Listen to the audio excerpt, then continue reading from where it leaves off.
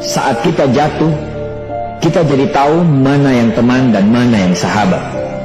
Saat kita gagal, kita jadi tahu mana yang betul-betul peduli dan mana yang hanya singgah dalam senang. Saat kita tidak punya apa-apa, kita jadi bijak mengenal mana yang tulus dan mana yang bulus. Saat kamu sukses, kaya, dan lagi di atas dalam proses kehidupan, semua orang akan memuji, semua orang akan menyanjung, bahkan semua orang akan mengaku kalau dia ikut berperan dalam suksesmu.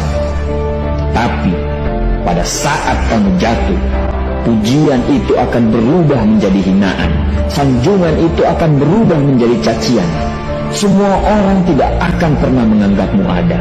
Percayalah, saat gagal, semuanya menjadi gelap.